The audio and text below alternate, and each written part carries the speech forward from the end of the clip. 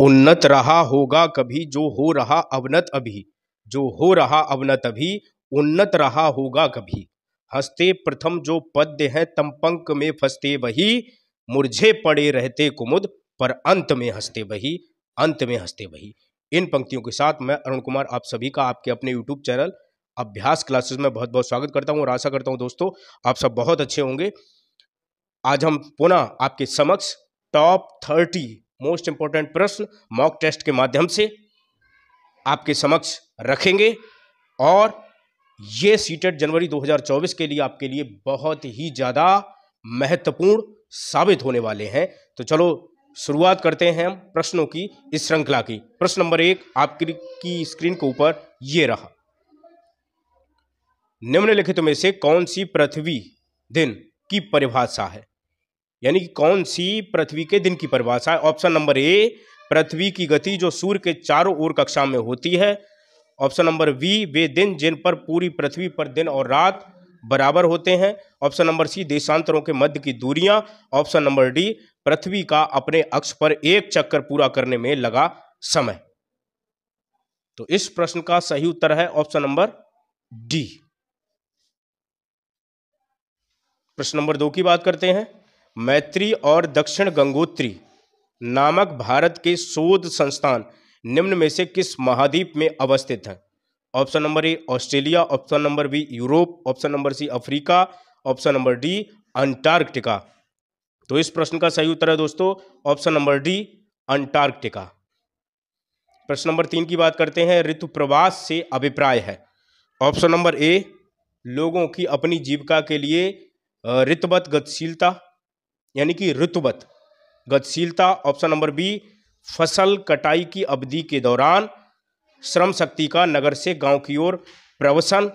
Option number सी, नए चरागाहों की खोज में अपने पशुधन के साथ लोगों की ऋतुवत गतिशीलता। ऑप्शन नंबर डी, वन्य प्राणियों की ऋतुवत गतिशीलता।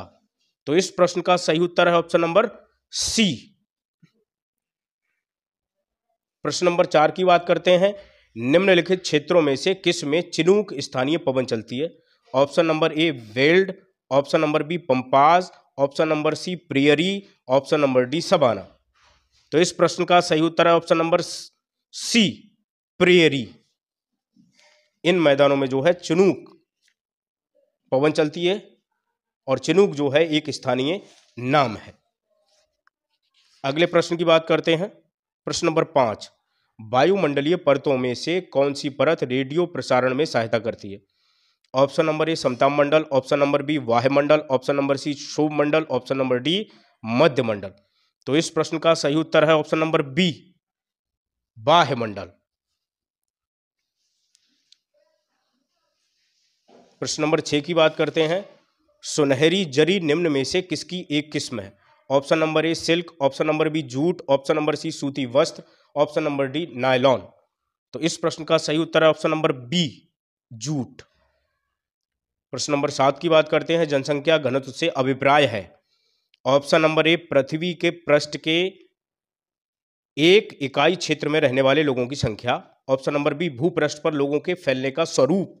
ऑप्शन नंबर सी, किसी क्षेत्र विशेष में रहने वाले लोगों की संख्या। ऑप्शन नंबर डी, एक निश्चित अवधि के दौरान लोगों की संख्या। तो इस प्रश्न का सही उत्तर है दोस्तों, ऑप्शन नंबर ए। प्रश्न नंबर आठ की बात करते हैं। पृथ्वी की सतह के निकट स्थित खनिजों को बाहर निकालने के लिए निम्नलिखित में से किस विधि का प्रयोग किया जाता है? ऑप्शन नंबर ए विव्रत खनन। ऑप्शन नंबर बी कूपकी खनन। ऑप्शन नंबर सी, आखनन। ऑप्शन नंबर डी, कूपक। तो इस प्रश्न का सही उत्तर है ऑप्शन नंबर सी, आखनन। प्रश्न नंबर नौ की बात करते हैं। उद्योग के निम्नलिखित प्रकारों में से टोकरी बुनाई किसका एक उदाहरण है? ऑप्शन नंबर ए, सहकारी क्षेत्र। ऑप्शन नंबर बी बृहत आकार। ऑप्शन नंबर सी, लघु आकार। ऑप्शन नंबर डी, संयुक्त क्षेत्र। तो इस प्रश्न का सही उत्तर है ऑप्शन नंबर सी, लघु आकार। प्रश्न नंबर दस की बात करते हैं। तानाशाही के संदर्भ में निम्नलिखित कथनों में से कौन सा एक गलत है? ऑप्शन नंबर ए, तानाशाही में तानाशाह द्वारा लिए गए निर्णय पर लोग प्रश्न उठा सकते हैं। ऑप्शन नंबर बी, तानाशाह द्वारा लिए गए निर्णय पर तानाशाह को स्पष्टीकरण देने की आवश्यकता नहीं होती है। ऑप्शन नंबर सी, तानाशाही में तानाशाह द्वारा लिए गए निर्णय पर लोग प्रश्न नहीं कर सकते हैं। ऑप्शन नंबर डी, अंतिम निर्णय लेने की शक्ति तानाशाह में निहित होती है। तो इस प्रश्न के हिसाब से पहला उत्तर जो है, यानी कि ऑप्शन नंबर ए जो है, गलत है। यानी कि इस प्रश्न के हिसाब से है कि तानाशाही में तानाशाह द्वारा ली गई निर्णय पर लोग प्रश्न उठा सकते हैं, नहीं उठा सकते। प्रश्न नंबर ग्यारह, कृष्णा राज सागर बाँध निम्नलिखित नदियों में से किस पर बनाया गया? Option number A, Mahanadi, option number B, Kaveri, option number C, Godavari, option number D, Krishna. तो इस प्रश्न का सही उत्तर है दोस्तों, ऑप्शन नंबर बी, कावेरी। प्रश्न नंबर बारह की बात करते हैं।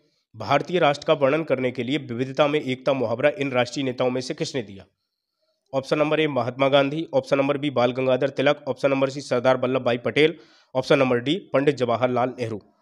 तो इस प्रश्न का सही उत्तर है दोस्तों, आप पता होगा, option number D, Pandit Jawaharlal Nehru. The discovery of India में उन्होंने इस बात का वर्णन किया है, ज़िक्र किया है। प्रश्न नंबर तेरह, सुल्ताना का स्वप्न नामक कहानी की लेखिका इनमें से कौन थी? Option number A Rukaiya Sakhawat Hussain, option number B Pandita Ramabai, option number C Mumtaz Ali, option number D Raj Sundari Devi. तो इस प्रश्न का सही उत्तर है दोस्तों, option number A Rukaiya Sakhawat Hussain.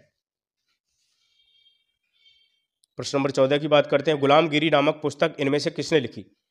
Option number A A A है Rama Swami Periyar, option number B doctor B R Ambedkar, option number C Jyotirao Phule, option number D Shri Narayana Guru. तो इस प्रश्न का सही उत्तर है दोस्तों option number C Jyoti Rao Phule. प्रश्न नंबर पंद्रह भारतीय न्यायिक व्यवस्था के संदर्भ में अपील की व्यवस्था का अर्थ है। ऑप्शन नंबर ए विधायिका, कार्यपालिका और न्यायपालिका के बीच शक्तियों का बंटवारा। ऑप्शन नंबर बी कोई भी अपने मामले पर बिना किसी कानूनी डिग्री के न्यायालय में बहस कर सकता है।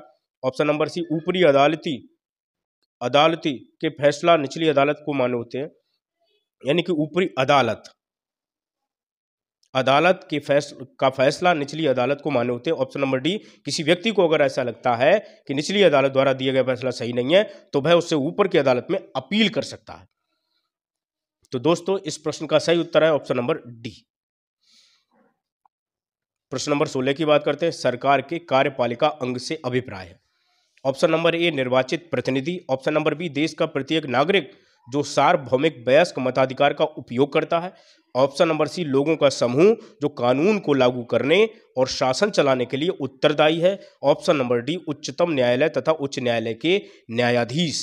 तो इस प्रश्न का सही उत्तर है ऑप्शन नंबर सी। प्रश्न नंबर सत्रह, संविधान का अनुच्छेद बाईस सुनिश्चित करता है। ऑप्शन नंबर ए संवैधानिक उपचार का अधिकार, ऑप्शन नंबर बी, गिरफ्तारी के दौरान या हिरासत में दुर्व्यवहार से बचने का अधिकार, ऑप्शन नंबर सी, शोषण के विरुद्ध अधिकार, ऑप्शन नंबर डी, शिक्षा का अधिकार। तो दोस्तों, इस प्रश्न का सही उत्तर है ऑप्शन नंबर बी। गिरफ्तारी के दौरान या हिरासत में दुर्व्यवहार से बचने का अधिकार। प्रश्न नंबर अट्ठारह की बात करते हैं। लोकसभा में सत्ताधारी दल का मुखिया, इनमें से कौन होता है? ऑप्शन नंबर ए राष्ट्रपति, ऑप्शन नंबर बी उपराष्ट्रपति, ऑप्शन नंबर सी प्रधानमंत्री, ऑप्शन नंबर डी अध्यक्ष। तो इसका सही उत्तर है दोस्तों ऑप्शन नंबर सी प्रधानमंत्री। प्रश्न नंबर उन्नीस की बात करते हैं। उच्च प्राथमिक स्तर पर सामाजिक एवं राजनीतिक जीवन के पाठ्य पुस्तकों में निम्नलिखित विषयों में से किससे संबंधित विषय वस्तु सम्मिलित है? ऑप्शन नंबर ए मनोविज्ञान, ऑप्शन नंबर बी अंतर्राष्ट्रीय संबंध, ऑप्शन नंबर सी अर्थशास्त्र, ऑप्शन नंबर डी दर्शन शास्त्र। तो दोस्तों, इस प्रश्न का सही उत्तर है ऑप्शन नंबर सी अर्थशास्त्र। प्रश्न नंबर बीस की बात करते हैं। आप ऐतिहासिक कल्पना पर प्रश्न क्यों पूछेंगे? निम्नलिखित में से सबसे उचित विकल्प को चुनिए। ऑप्शन नंबर ए यह दर्शाता है कि इतिहासकार इतिहास में अपनी कल्पना के साथ कैसे अंतरों को पूरा करता है। ऑप्शन नंबर बी यह तिथि और घटनाओं को याद रखने का रोचक तरीका है। ऑप्शन नंबर सी, यह वर्तमान का अतीत के साथ तुलना करने में प्रोत्साहित करता है। ऑप्शन नंबर डी, यह स्रोतों को पहचानने में शिक्षार्थियों की योग्यता को मूल्यांकित करता है। तो इसका सही उत्तर जो है, ऑप्शन नंबर सी है। अगले प्रश्न की ओर बढ़ते हैं। प्रश्न नंबर 21 सामाजिक विज्ञान शिक्षण के लिए आप वृत्तांतों का प्रयोग क्यों करेंगे? दिए गए विकल्पों में से सबसे उचित कारण को चुनिए। ऑप्शन नंबर ए शिक्षार्थियों को संवेदनशील बना सकें, जिससे भी उचित आदर्श का पता कर सकें, जिससे वे उचित आदर्श का पता कर सकें। ऑप्शन नंबर बी, पाठ्यक्रम की पूर्णता को सुनिश्चित कर सकें। ऑप्शन नंबर सी, कक्षा को मनोरंजक एवं सजीव बना सकें। ऑप्शन नंबर डी, अवधारणाओं को सजीव, वास्तविकताओं के साथ जोड़ सकें। ये संजीव नहीं, सजीव है दोस्तों। तो इस प्रश्न का सही उत्तर है ऑप्शन नंबर डी। प्रश्न नंबर 22 की बात करते हैं। राष्ट्रीय आधार समूह 2006 के अनुसार सामाजिक विज्ञान का शिक्षण अपनी लोकप्रियता खो रहा है। यहाँ को की जगह दोस्तों कर लेंगे खो। खो रहा है। क्योंकि कारण बताना है आपको। ऑप्शन नंबर ए, यह अत्यधिक वैज्ञानिक दृष्टिकोण पर बल देता है। ऑप्शन नंबर बी, यह मानवीय मूल्यों में अंतर विरोध की कई स्थितियाँ प्रस्तुत करता है। ऑप्शन नंबर सी, यह एक अनुपयोगी विषय के रूप में जाना जाता है। ऑप्शन नंबर डी, यह कई विषयों के अध्ययन को प्रोत्साहित करता है। तो इसका सही उत्तर है ऑप्शन नंबर बी। प्रश्न नंबर तेईस की बात करते हैं। निम्नलिखित में से कौन सा विकल्प विद्यालय आधारित आकलन का अनुपयुक्त वर्णन करता है?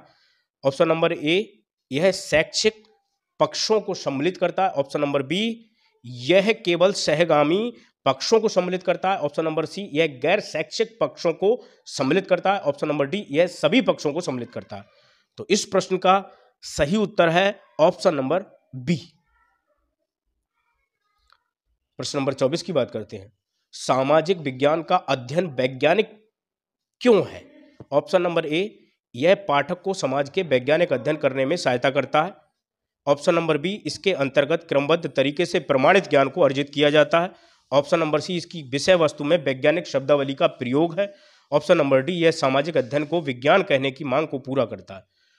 तो इस प्रश्न का सही उत्तर है ऑप्शन नंबर ए। और सहायता करता है और जोड़ लेंगे इसमें। प्रश्न नंबर 25 की बात करते हैं दोस्तों। आप एक वर्ष में नियोजित, अल्प नियोजित और नियोजित ग्रामीण श्रमिक द्वारा बिताए गए समय के समानुपात को चित्रित करना चाहते हैं। निम्नलिखित में से आप कौन से आरेखीय चित्रण को चुनेंगे? यहाँ पे कर लेंगे चुनेंगे। चुनेंगे। चुनेंगे।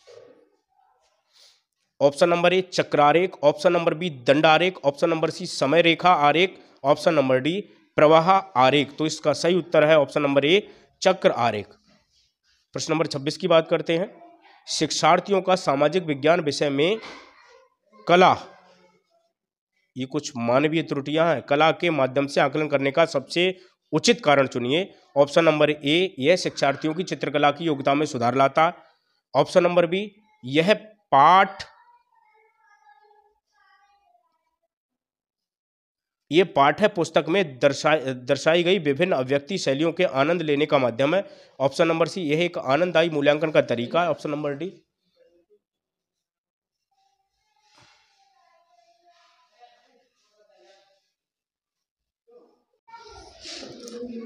तो दोस्तों, इसमें ये जो है, यह पाठ है, यह पाठ्य पुस्तक यह पाठक पुस्तक में दर्शाई गई विभिन्न अव्यक्ति शैलियों के आनंद लेने का माध्यम है। ऑप्शन नंबर सी, यह एक आनंददायी मूल्यांकन का तरीका है।